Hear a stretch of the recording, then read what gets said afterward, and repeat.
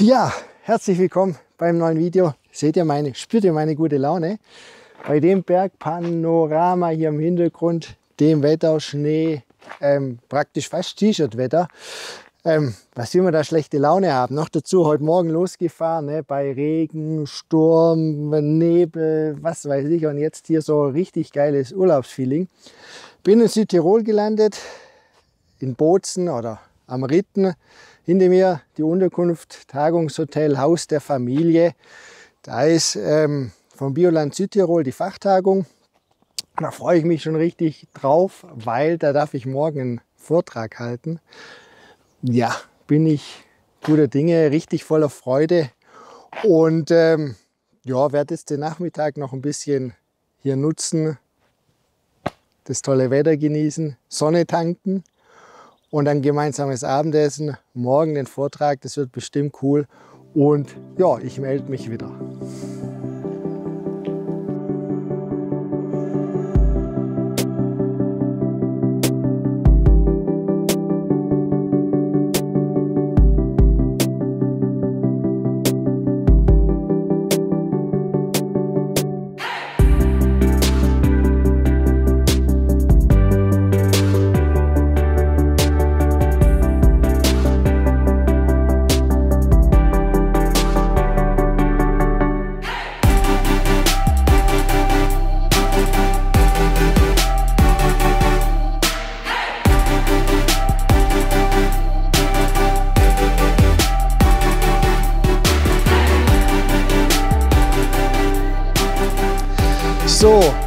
Sind wir wieder zurück. Stehe wieder vor der Imkerei. Das Wetter haben wir mitgebracht. Ähm, bei uns auch. Ganz schön warm, ein bisschen ein Wind. Ja, war super interessant. Ich glaube, auch alle waren so zufrieden. Also wenn ihr mal Lust habt, dass ich zu euch komme, einen Vortrag halte im Imkerverein oder wie auch immer und wir das zeitlich hinkriegen, dann meldet euch einfach. Ja, der Ausflug nach Südtirol, ihr habt es an den Bildern jetzt gerade gesehen, war schön. Ne?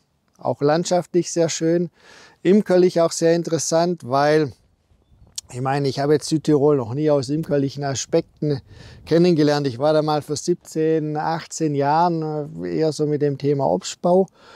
Und das ist schon äh, interessant. Ne? Wir haben diese Po-Ebene mit Akazie und allem und das geht dann praktisch rauf bis auf 2400 Meter Höhe mit Alpenrose und die Biene fliegt ja praktisch, was sie bei uns in der Fläche fliegt, fliegt sie da ja so praktisch in der Höhe. Also fand ich super interessant, super anspruchsvoll auch da zu imkern. Also die haben alle, oder alle Imker in Südtirol haben, glaube ich, ein bisschen meinen Respekt.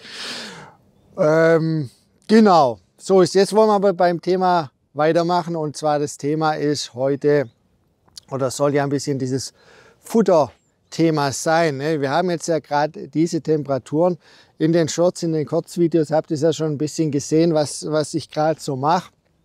Einfach die Bienenvölker anschauen, weil vor allem schwache Völker brauchen wir, müssen wir schon ein bisschen Liebe aufwenden.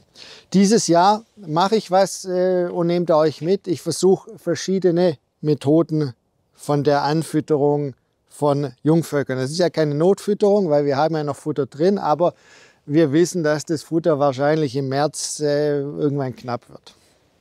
Gerade bei schwachen Einheiten ja ein Thema. Dieses Jahr machen wir eigentlich zwei Varianten im Versuch, aber ich habe schon ein bisschen ähm, vorausgearbeitet und weiß, dass es drei werden. und zwar machen wir einmal Futterteig selber gemischt nach einem äh, Rezept von der kanadischen Landwirtschaftskammer. Da machen wir dieses ganz traditionelle, was man hier redet, Futtertasche und äh, ähm, Zuckerwasser rein. Und wir machen noch Variante 3, die sich aus Variante 1 ablädt. Aber das ist wahrscheinlich dann ein Thema im nächsten Video. Jetzt schauen wir uns mal kurz an, wie ich den äh, Futterteig gemischt habe. Wie gesagt, das Rezept schreibe ich euch unten in die Videobeschreibung. Das kommt von der kanadischen Landwirtschaftskammer und ähm, so habe ich das verstanden, so hat man mir das erklärt. So stand es auch irgendwo schon, das habe ich mir vor drei, vier, fünf Jahren mal rausgeschrieben zum Probieren. Komme halt jetzt erst dazu, so ist Leben. dass in Kanada ja praktisch, wenn die Bienen in äh, diesen Hallen überwintert werden, ne, der eine oder der andere kennt es ja, und dann werden die da trachtfertig gemacht. Das heißt, die Halle wird ein bisschen angewärmt und äh, dann bekommen die wohl äh, so eine Art Reizfütterung mit diesem Futterteig. Ne? Wahrscheinlich wird es auch draußen verwendet. Also ich kann mich da nicht mehr so ganz im Detail erinnern. Also wenn ihr da mehr Infos dazu habt, schreibt es gerne in die Kommentare. Es war nur damals für mich ähm, interessant, dass ich gesagt habe, okay, diese Art von Futterteig will ich mal ausprobieren, weil da eben mehr Inhaltsstoffe drin sind. Ja, ihr seht es unten in der Zutatenliste. Wir haben Bierhefe, wir haben Milchpulver und wir haben Sojamehl. Das ist natürlich unter ähm, Zuckerwasser oder Maisstärke-Sirup, je nach, je nach Wunsch, wie man es machen will. Und äh, das sind natürlich andere Inhaltsstoffe, wie jetzt Futterteig von der Stange, ähm, wie sie auch alle heißen. Ja, und das war so ein bisschen meine, das will ich diesmal versuchen. Das versuche ich bei den schwachen Einheiten. Wie gesagt, parallel dann ähm, das gleiche mit der Futtertasche. Die habe ich hier schon rausgesucht, welche, weil da will ich nicht gleich auch losstarten. Und da habe ich ja eben hier, ne, diese habe ich schon mal euch im Video vorgestellt, verlinke ich euch auch unten. Da habe ich eben diese Futtertaschen für Dadant. Ähm, hatte ich ja damals gesagt, kann man auch als Sheet verwenden, habe ich aber seither auch noch nicht gemacht. Ne? Ähm, so ist es. Jetzt würde ich sagen, ähm, zeige ich euch kurz, wie ich den Futterteig daheim in der heimischen Küche gemischt habe. Ne, praktisch so, ich brauche da ja nicht viel, weil ich will das erst mal versuchen. Dann bringen wir den zu den Bienenvölkern und dann schauen wir uns im nächsten Video an, wahrscheinlich wegen der Länge von dem Video, dann schauen wir uns wahrscheinlich im nächsten Video an, wie der abgenommen wurde, was da passiert ist.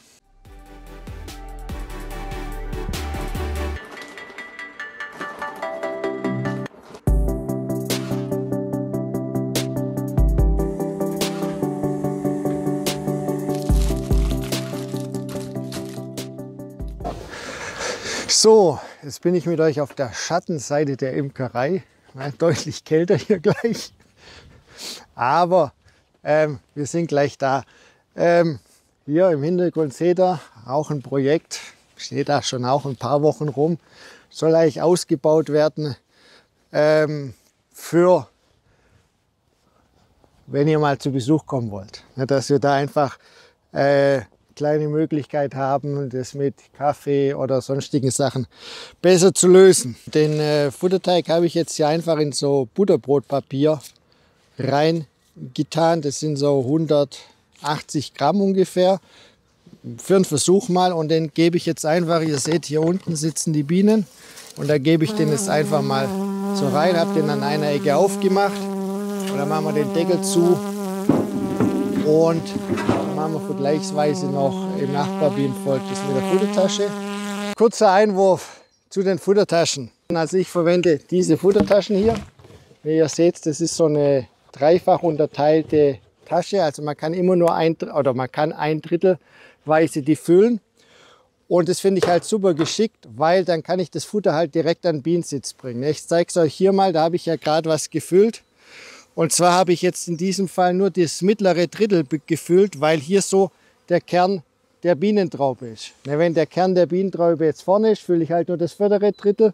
Und das finde ich halt hier super interessant, weil dann ist das Futter halt viel kompakter an der Bienentraube. Ihr könnt euch ja vorstellen, wenn die jetzt keinen Trennsteg hätte oder unten gibt es auch welche, wo unten offen sind, dann läuft das Futter ja dieses äh, Kilo, halbe Kilo über die ganze Länge weg. Und dann ist es da unten in der Futtertasche und die Bienen müssen über den Rand ganz weit runter krabbeln. Und das ist natürlich mit diesen Dritteln schon interessanter und auch die Dosierung ist ein bisschen einfacher. Und durch diesen Zwischensteg beult die sich ja nicht aus. Ne? Ihr kennt es ja wahrscheinlich, wenn die Futtertaschen keinen Zwischensteg haben, diese ganz günstigen, dann äh, werden die immer breiter. Also wenn man die voll macht, kriegen die so einen Bauch. Ne? Das kann man sich ja vorstellen. Und äh, wie gesagt, deshalb bin ich mit denen eigentlich ganz glücklich. Ich verlinke euch die, wie gesagt, unten auch nochmal in der Videobeschreibung. Ich habe das ja schon mal erklärt mit diesem Video, in, äh, mit diesen, in irgendeinem Video mit diesen Futtertaschen. Genau, das ist dieses Thema. Ich mache jetzt auch nochmal einen Vergleich, ähm, indem ich das Futter einfach oben in den Nico-Fütter gebe. Dann haben wir nochmal eine Variante. Ihr könnt mir ja gerne mal in die Kommentare schreiben, was ihr erwartet, was geht am schnellsten weg, wie sind eure Erfahrungen, wie füttert ihr. Schreibt da gerne mal ein bisschen was zu diesem Thema in die Kommentare, dass wir da ein bisschen in Austausch kommen. Und jetzt geht es aber weiter. Jetzt haben wir da oben das Bienenvolk ähm, wo wir den Futterteig, den selbst hergestellten, gegeben haben. Jetzt habe ich hier ein Bienenvolk, da kommt der Futtersirup rein. Die sehen beide ungefähr gleich aus, sind schwache Völker. Also sind, sind äh, relativ jung oder ein bisschen zu schwach gebildete Jungvölker, relativ spät im letzten Jahr.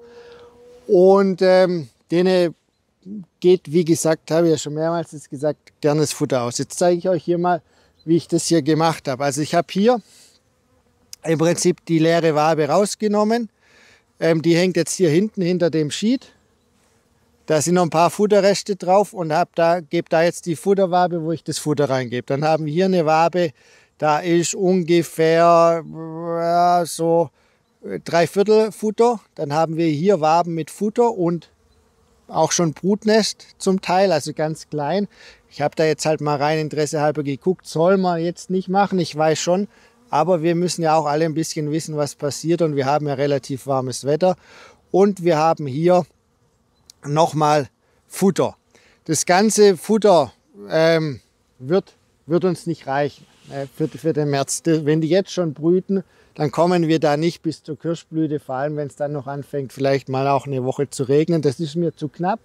Deshalb werden wir irgendwann das Futter brauchen und deshalb gebe ich denen das jetzt hier einfach in diese Futtertasche rein.